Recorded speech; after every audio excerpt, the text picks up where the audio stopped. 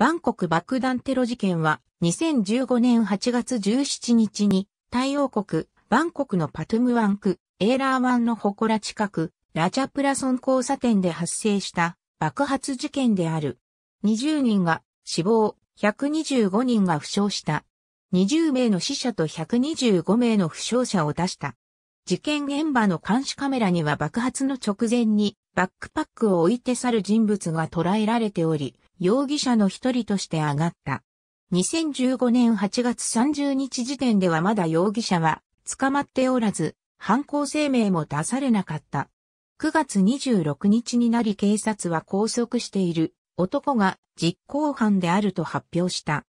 2015年2月、バンコクのショッピングモール、サイアムパラゴン近くの歩道橋で2つの爆弾が爆発し、2名が負傷した。この事件は政治的意図によるものだと考えられている。4月には、寒い島にて自動車爆弾が爆発し7名が負傷する事件が起きていた。2015年8月17日18時55分。バンコクの中心街、人通りの多いラチャプラソン交差点近くのエラワンの祠の構内で爆発が起こった。太陽国国家警察庁によれば、爆発は、祠の外苑のベンチの下に置かれていた 3kg の TNT が詰め込まれたパイプによるもので、また起爆に使われたと思われる電子回路が現場から30メートル離れた場所で見つかった。いかなる犯行声明も出されていない。攻撃はタイの観光と経済に打撃を与える目的で行われたものと考えられている。しかし逮捕者たちに関する情報と動機に関するタイ当局の発表には矛盾も存在する。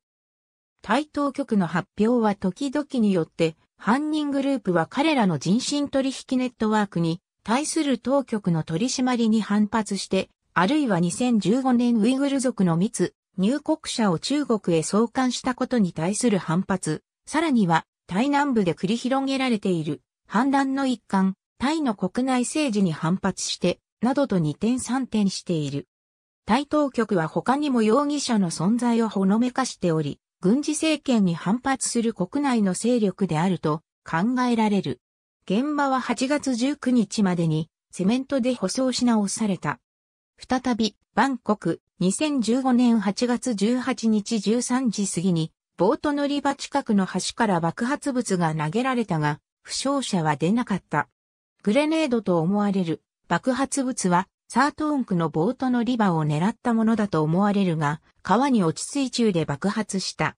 関区の警察の副所長は、川に落ちなければ間違いなく、負傷者が出ていただろうと話している。怪我人は出なかったものの、橋がある程度の被害を受けている。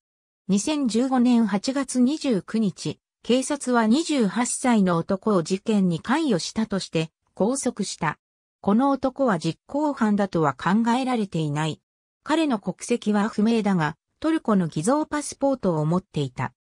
また、少なくとも11冊トルコのパスポートと200冊以上のパスポート、そして爆弾の製造に必要な材料とともに男のアパートから見つかった。